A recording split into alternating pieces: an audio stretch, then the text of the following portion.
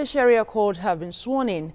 At the swearing-in ceremony, Governor Aminu Masari admonished the Chief Judge and the Grand Kadi to adhere strictly to the dictates of their profession.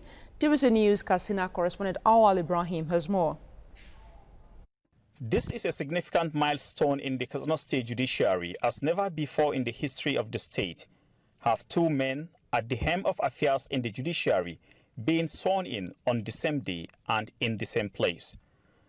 Justice Musa Danladi Abubakar is now the substantive chief judge of Katsina State, while Khadi Munkail Hafiz Abubakar is the new Grand Qadi of the state Sharia court.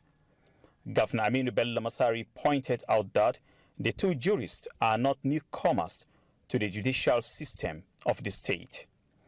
He adds that they need more of prayers than congratulations from friends and well-wishers. You have taken an oath of office.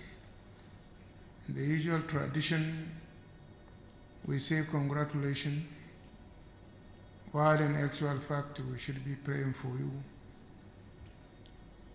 for Allah's guidance and protection, to help you to discharge your duties in accordance with the oath of office you have sworn. Your job is the most difficult. Difficult in the sense that uh, to a large extent for the people of Katsina State, you are the last hope.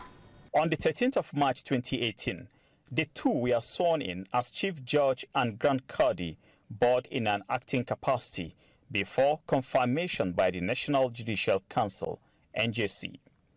They were subsequently screened by the Katsina State House of Assembly.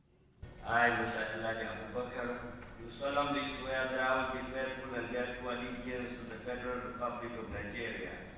That as Chief Judge of High Court of Katsina State, the new Chief Judge is described as a person who relates well with other arms of government and who will move the state judiciary to greater heights. We have been uh, having chief judges in the state, but he is an ingrown. He started right from the uh, magistrate grade to up to the, the, the present position. So he's a man of vast knowledge about the judiciary and the happening in the judiciary. He was a chief registrar for over 10 years and during his time, it, it, was an entirely different arrangement than what we have now. So we believe his capacity and his ability will surely show the Chief Judge of the State. The newly sworn-in Chief Judge and the new Grand Qadi are expected to oversee the running of more than 200 conventional and Sharia courts across the state. Awal Ibrahim, TVC News, Katsina.